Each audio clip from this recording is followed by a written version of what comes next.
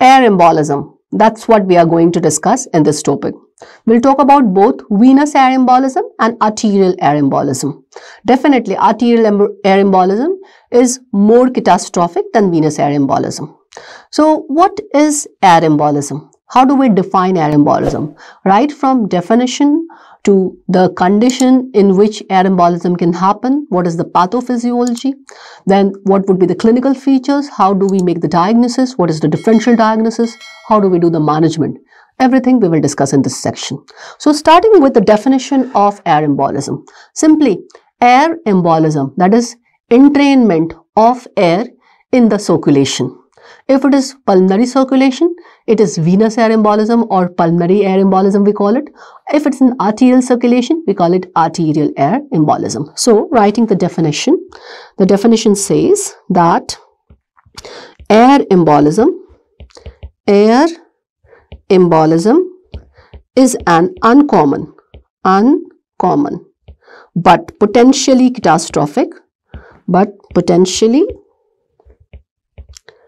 catastrophic catastrophic event that occurs due to entry of air in the vasculature that occurs as a consequences of consequences of the entry the entry of air into the vasculature into the vasculature. So if I make this definition in one line, I would say entrainment of air in circulation. I would say entrainment, entrainment of air in circulation.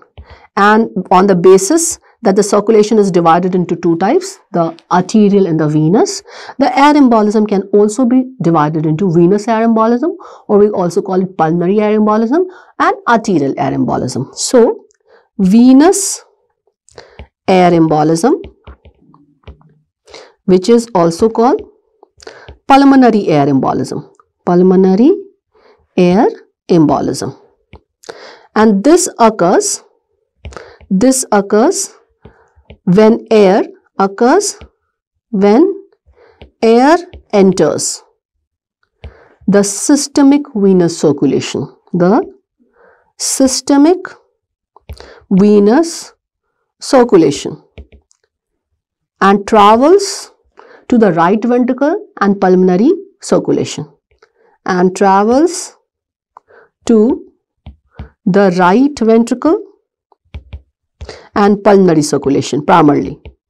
Ventricle and pulmonary circulation right? So air is entering into the systemic venous circulation. So it's called venous air embolism. It is traveling to the pulmonary circulation. It's called pulmonary air embolism. Now next is your arterial air embolism. When the air goes enters the systemic arterial circulation more serious than venous air embolism and can cause organ ischemia because it can cause air block and airlock or air block whatever you call and it can affect the blood supply to that particular organ. So arterial air embolism arterial air embolism. Now this is when air enters when air enters arterial circulation. Arterial circulation.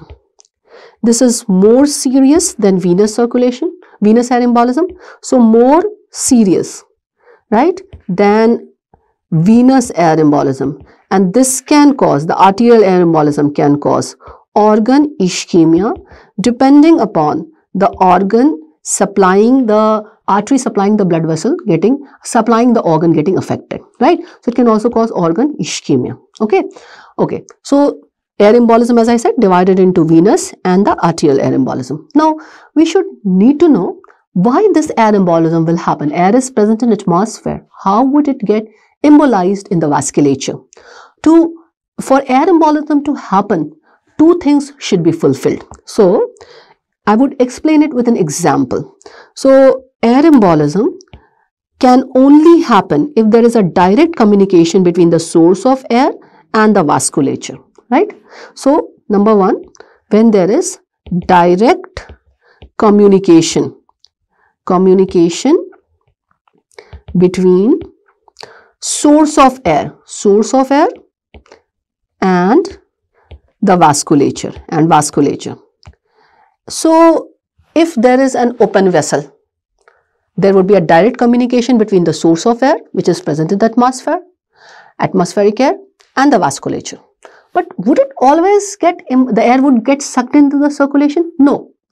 If there is a pressure gradient, difference in the pressure, then only it will be sucked in. So, the second thing which is required, pressure gradient. Pressure gradient favoring the air in the circulation. So, pressure gradient favoring air in circulation. So, if the vessel has a less pressure atmospheric than the atmospheric air, then the gradient would move the air from atmosphere into the vessel. So, what could be the clinical example when this air embolism can happen? So, surgeon has made a surgical incision. This is a direct communication between the air and the vessel, vasculature and the site where the surgical incision is made, it is above the phlebo, phleboplastic axis of the body, above the heart. So, if the site of the incision is above the heart, then a negative pressure is present in the vessels and further the pressure is less if patient is having hypotension. And this would favor the gradient and would favor the sucking in of the air into from the circulation into the vasculature. So, Example as I said, example, surgical incision, surgical incision which is a direct communication between atmosphere and air and the level of surgical incision, level of surgical incision, right, level of surgical incision. So, in neurosurgery, in neurosurgery, in ENT procedures, right, it is above the phlebostatic axis. The site is above the phlebostatic axis of the body that is right atrium above the right atrium. So the negative pressure is created a negative venous pressure is created. So this creates a negative venous pressure. And this creates the gradient higher the gradient in case of hypotension and this favors the embolism of the atmospheric air into the vasculature. So these are the two important things which are required. Okay? So we discussed the types of air embolism and why air embolism is happening. Now what will this air getting embolized into the into the vasculature will do? We'll talk about the pathophysiology. And to understand the pathophysiology for we'll i'll discuss the pathophysiology of uh, venous air embolism separately and arterial air embolism separately. Now remember both venous and arterial air embolism, we, they, the air embolized in the vasculature can have direct effects and can have some indirect effects. Okay, so we'll talk about everything. So let's talk about pathophysiology of venous air embolism first. So venous air embolism, that is air in the venous circulation, air in venous circulation venous circulation. So let us talk about the direct effect and indirect effect. First the what would be the direct effect of the air in the circulation? So small amount of the air can be removed by the pulmonary circulation. So pulmonary vascular bed can absorb small amount of air. But if when it overpass that then it could create an obstruction and this would uh, this obstruction can affect the ventilation perfusion of the uh, of the body also and can also affect the cardiac output of the body. So small amount small amount of air can be removed. Air can be removed from pulmonary vascular bed. Pulmonary vascular bed right by gas diffusion gas diffusion right across the the arterial wall by the gas diffusion but if the capacity is overwhelmed but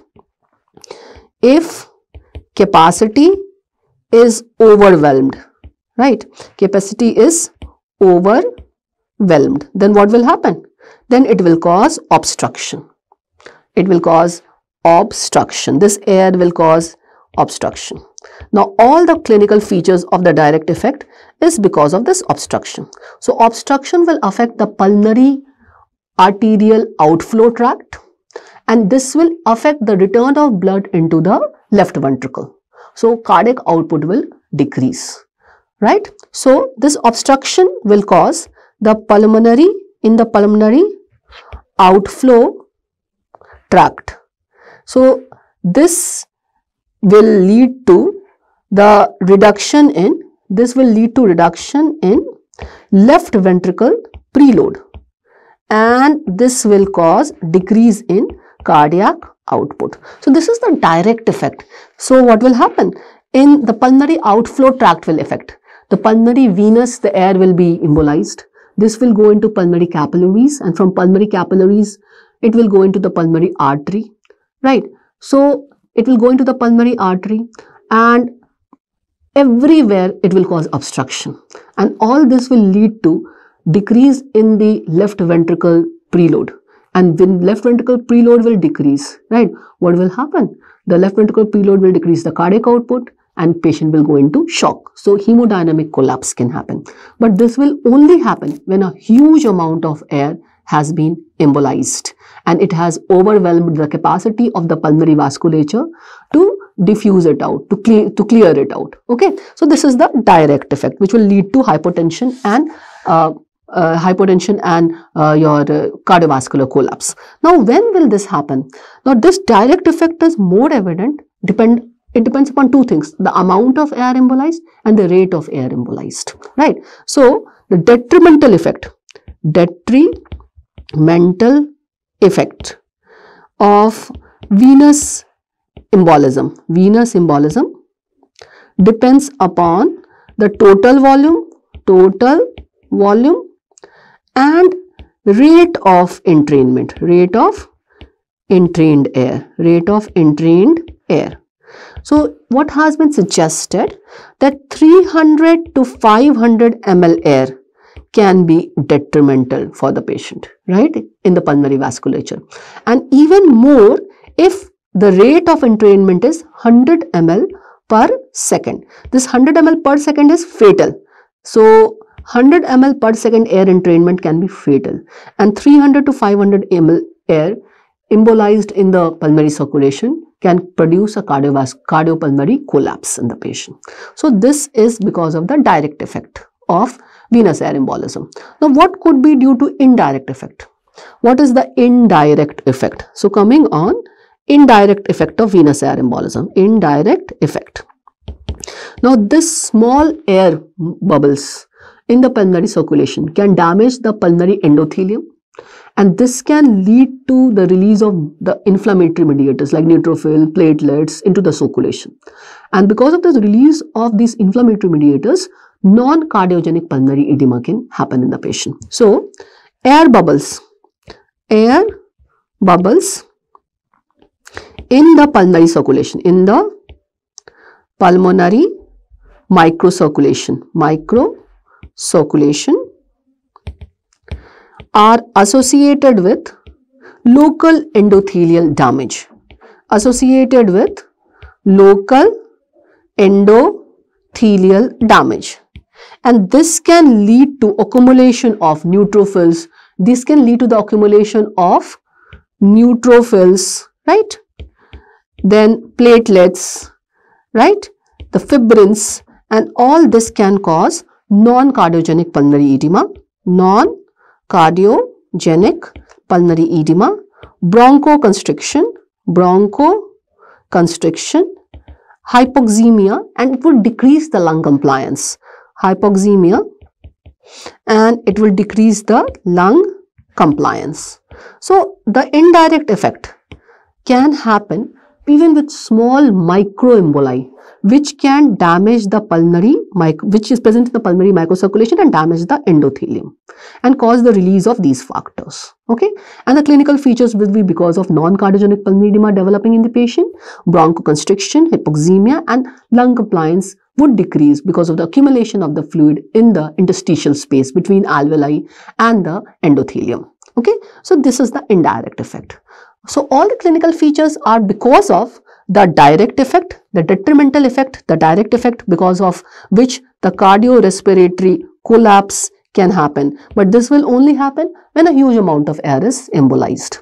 But in case of small amount of air also embolized, the indirect effect, through indirect effect, right, these clinical features, the pathophysiology can develop lot of clinical features. Now let us talk about arterial air embolism, arterial embolism.